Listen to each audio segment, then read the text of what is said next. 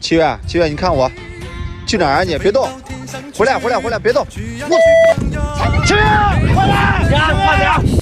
我从石家庄赶来山东找可乐妈来玩，他竟然三点带我下地采瓜去，从天黑到天亮。这里是山东聊城莘县，拥有百万亩蔬果种植面积，号称甜瓜之乡。这里有一个从日本引进的优良品种玉姑甜瓜，它的外表平平无奇，但只要你一尝过，一定会被它的口感果肉像翡翠般晶莹剔透，软弱香甜，口口如蜜，勺子一挖，丰沛的汁水瞬间溢出，这不比孩子买饮料好多了。这个瓜在他们日本动辄几百，让人敬而远之。